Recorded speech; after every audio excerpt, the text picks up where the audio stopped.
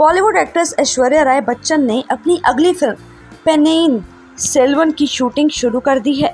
वह इन दिनों तमिलनाडु में है।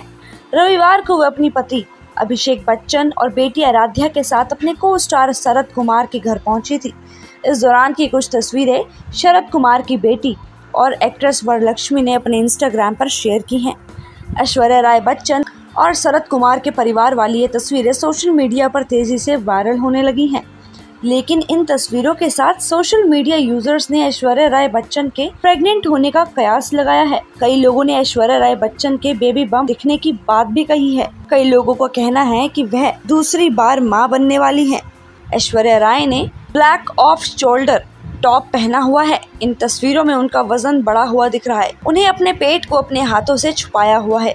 ऐश्वर्या की ये तस्वीरें देखने के बाद फैंस उनके प्रेग्नेंट होने का कयास लगा रहे हैं।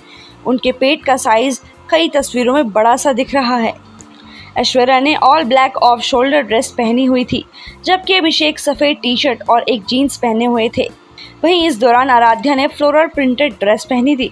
इन तस्वीरों से ऐश्वर्या और अभिषेक ने फैंस का दिल जीत लिया है।